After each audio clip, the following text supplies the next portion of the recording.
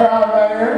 Mr. Soundman, thank you so much. Whatever you do back there, my friend. Mr. Monitor guy, good job. Stick around, we got a great jam coming up, so don't go anywhere. Get some old classic